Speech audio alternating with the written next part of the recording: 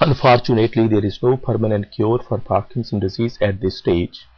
However, there are many different treatment options available which can help reduce the symptoms of Parkinson's disease and improve the quality of life of patients.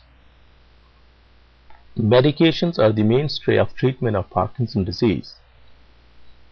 Physiotherapy and speech therapy are also helpful when used along with medications. Carefully selected patients may benefit from surgery as well. The treatment of Parkinson's disease may vary from person to person and depends upon a number of factors. It is important to keep in mind that these drugs may not stop the progression of disease. However, they will reduce the symptoms of Parkinson's disease so you are better able to carry out your daily activities. The medications used for Parkinson's disease may have some side effects as well. The medications must only be used as instructed by your physician.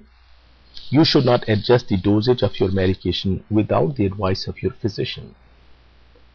A summary of the medications used for Parkinson's disease will be discussed shortly, but you should strictly follow the plan made by your neurologist about your condition. The commonly used medications for Parkinson's disease include amantadine, monoamine B oxidase inhibitors including rasagiline and selegiline, dopamine agonists including pramipexole and ropinirole, levodopa, entacapone, and anticholinergic medications. Amantadine is started at a dose of 100 mg once daily and the dose is slowly increased to 100 mg three times daily. The side effects of this medication include leg swelling, visual hallucination, and livedo reticularis, which is a web-like rash on legs and arms. Rasagiline, which is a monoamine B oxidase inhibitor, is started at a dose of 0.5 mg once daily. The dose may be increased to 1 mg once daily. The side effects of this medication include joint problems, flu-like illness, exacerbation of side effects of levodopa when used in conjunction with levodopa.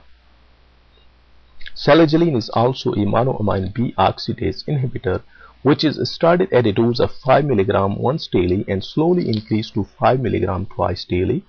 The, the last dose of this medication should not be taken later than afternoon.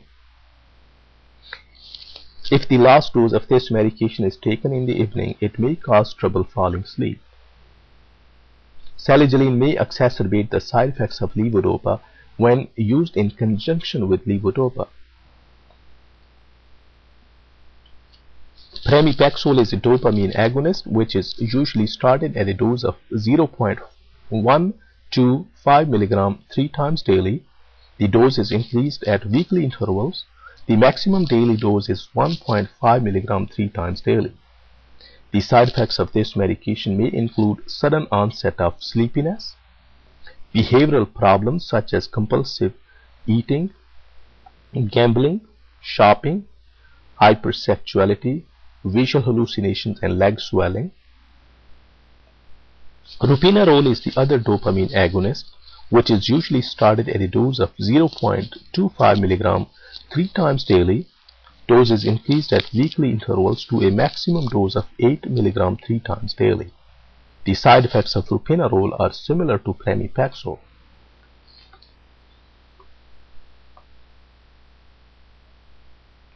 Levodopa is usually started at a dose of 100 over 25 mg. The dose is slowly increased to 300 mg to 2000 mg which can be divided up to many times a day. The side effects of this medication include dizziness, nausea, vivid dreaming, and sleepiness. There is a controlled release formulation of levodopa available as well. Entacapone is started at a dose of 200 mg with each dose of levodopa. The maximum daily dose is up to 1600 mg daily. Entacapone can only be used with levodopa. Entacapone may cause brown discoloration of urine, diarrhea, and exacerbation of side effects of levodopa. Anticholinergic medications include trihexyphenidyl, which is started at a dose of 1 mg once daily. The dose may be increased up to 5 mg three times daily. The side effects of this medication include cognitive dysfunction, dry mouth, urinary problems, constipation, visual problems, and confusion.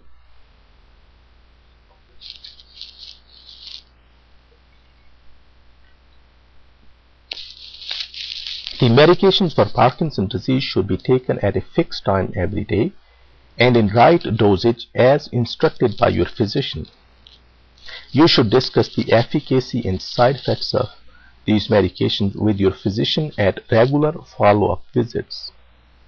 You should use the same pharmacy consistently so that they have a record of your medication history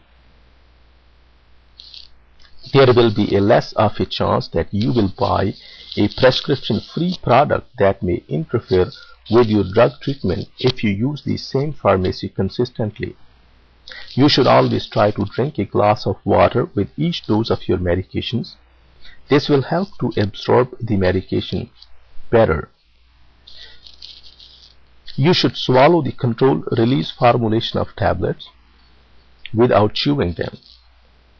In this way, the contents of the medication will be able to reach their target destination more efficiently. This information is provided only for educational purposes and should not be taken as a substitute for the medical care and the advice provided by your physician.